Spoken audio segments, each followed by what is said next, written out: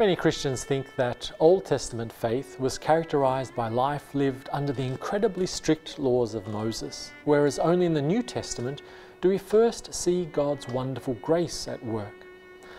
But that's not quite true.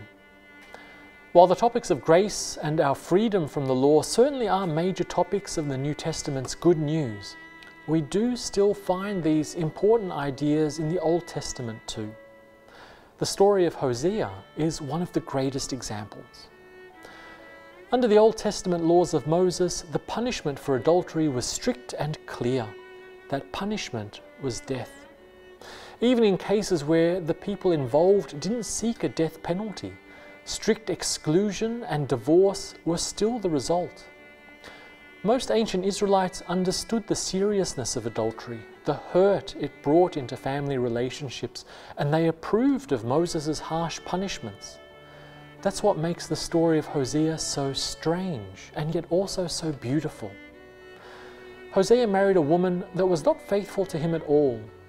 Not only did she cheat on Hosea over and over again, she also got pregnant multiple times from those affairs. In a marriage relationship, it's hard to imagine a break of trust more completely devastating than that. The law of Moses allowed Hosea to demand stoning and death for his unfaithful wife. And we can be sure that Hosea's neighbors and friends would have supported that decision. But amazingly, Hosea refuses to demand death. Instead, he expresses his continuing love for his adulterous wife calling her to come back home to Him.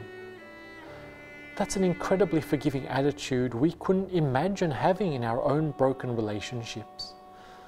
But the lesson behind the story of Hosea is that this is a metaphor for how God treats the Israelites.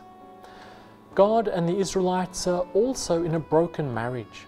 And like Hosea's wife, the Israelites have repeatedly been unfaithful to God. God could be an angry husband, and under the laws of Moses, God could demand death for Israel. If God were to do that, everyone would understand and agree. But God refuses. God pushes aside the demands of Moses' law and instead treats Israel with grace and love. In love, God calls out to the Israelites to come home to Him again. Importantly, God does the same for us too. Even though we also wander away from God and deserve punishment under the law, in God's grace and love, God pushes aside the law. Instead, God loves us, forgives us, and calls us to come back home to Him, despite all our past faithlessness. With such wonderful love and forgiveness on offer, why should we wait any longer? Let's stop our unfaithful wandering and come back home to God today.